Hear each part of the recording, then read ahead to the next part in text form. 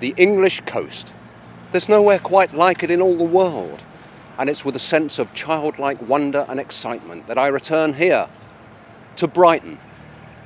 Full of hidden messages and colourful characters, a place of secret nooks, unsolved mysteries, sea, sand, there must be some somewhere, Lights, laughter, murder, ice cream, cheeky chappy entertainment, and some fantastic architecture, all merging together to make a heady mix in this intriguing little plot at the end of the country. It is the impressive and imposing yet light and joyful architecture that is reflected in the minds of the people that live here, surrounded as they are by the elements in all of their glory. The sea, the embracing coastal air, the pebbles of the earth and the fire of seasonal sunshine.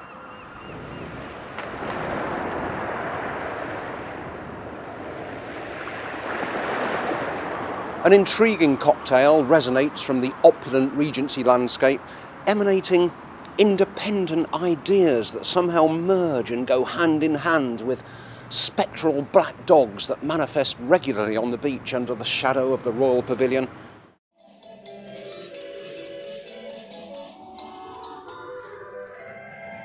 On the skeletal West Pier in the dead of an off-season night, if you listen very closely, you may just hear laughter floating on the sea breeze as Max Miller and Tommy Trinder tell their saucy seaside stories and the self-proclaimed Lord of Brighton, Chris Eubank, parades himself like some self-obsessed peacock in his monster truck.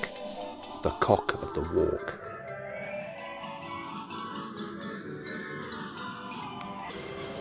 This is the Old Market here in Brunswick Town. Built in 1825, both trading and transport have been prevalent here. Having had a bit of a shaky start as a market, the place was put to use as a stabling block for Brighton's working horses back in the days before motorisation. It is said that if you listen very closely, you can just hear the ghostly neighing of horses coming up from the basement, and in the streets hereabouts, the clip-clop of hooves on the cobbles.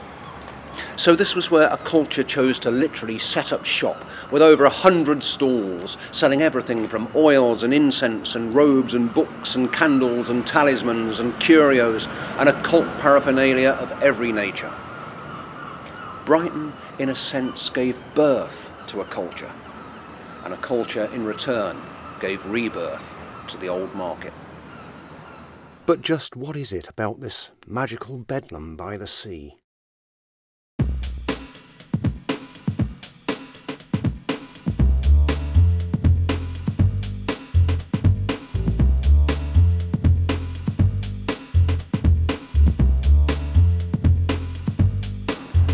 Just look at the graffiti of any town or city. Midnight taggers claiming the territory, marking out turf.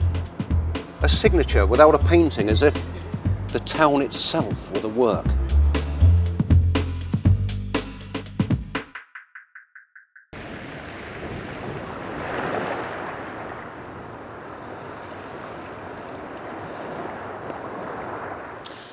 The town was reinventing itself forming a unique personality, a new social mood, one of joy and gaiety in more ways than one.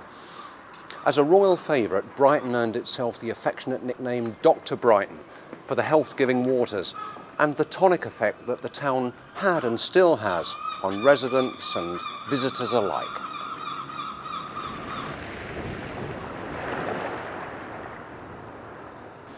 Druids, ghosts, corrupt policemen, society it girls, Tatler debutantes from Roedean Finishing School, all out on the prom of a Friday night thinking most unladylike thoughts as they dodge Phil Daniels on his Vespa, who is being pursued by a bunch of rockers on Royal Enfields, all on a mission for the ever-present threat of Pinkie Brown, who smokes a cigar the size of a stick of Brighton rock.